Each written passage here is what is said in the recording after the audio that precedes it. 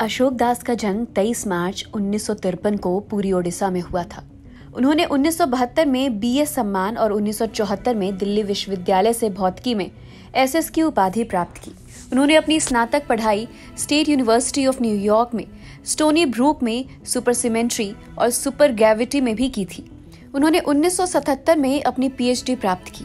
उन्नीस में रोचेस्टर विश्वविद्यालय में शामिल होने से पहले वो न्यूयॉर्क के सिटी कॉलेज मेरीलैंड विश्वविद्यालय और स्टगर्स विश्वविद्यालय में एक शोध सहयोगी थे। उन्हें उन्नीस सौ तिरानवे में प्रोफेसर के रूप में पदोन्नत भी किया गया था। अशोक दास एक भारतीय अमेरिकी सैद्धांतिक भौतिक विज्ञानी, एक लेखक और भौतिकी के पुरस्कार विजेता शिक्षक थे। वह रोचेस्टर विश्वविद्यालय में भौतिकी के प्रोफेसर और कलकत्ता के भारत के परमाणु भौतिकी संस्थान, भौतिकी और भारत के भुवनेश्वर के भुवनेश्वर भौतिकी संस्थान के सहायक प्रोफेसर थे। उनका शोध सैद्धांतिक उच्च ऊर्जा भौतिकी के क्षेत्र में है। वह सुपर सिमेस्ट्री और सुपर ग्रेविटी पर काम करते हैं। हाल के सालों में गैर रेखीय पूर्णांक प्रणालियों पर बड़े पैमाने पर काम किया गया, जो कि ऐसी प्रणाली है जो उनके जटिल स्वरूप के बावजूद बिल्कुल हल हो सकती है। उन्होंने यह भी परिमित तापमान क्षेत्र सिद्धांतों, मानक मॉडल के सामान्यकरण पर सीपी उल्लंघन और काटम क्षेत्र सिद्धांत और स्ट्रिंग सिद्धांत में समस्याओं को शामिल करने पर काम किया।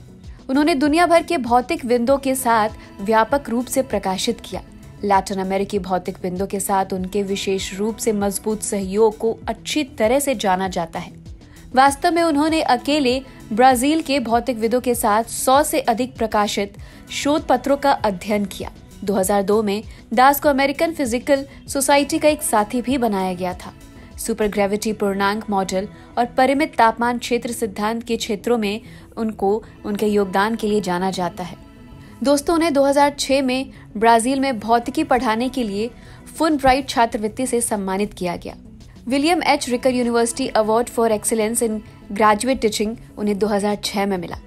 रॉक फाउंडेशन अवार्ड 2004 में ऊर्जा बकाया कनिष्ठ अन्वेषक विभाग उन्नीस से उन्नीस सौ नवासी तक एरवक पे कर्सिक अवार्ड उन्नीस सौ इक्यानवे में मिला। दोस्तों, आइए अब आपको उनके कुछ किताब और मोनोग्राफी के नाम बताते हैं। अपात integral approach world scientific publishers final temperature field theory world scientific publishers integrable models of scientific lecture notes in भौतिकी व्याख्यान पर है।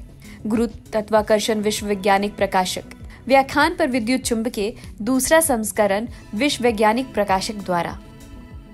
दोस्तों, ये वीडियो आपको कैसा लगा हमें कमेंट करके ज़रूर बताएँ। साथ ही वीडियो को लाइक या शेयर करना ना भूलें।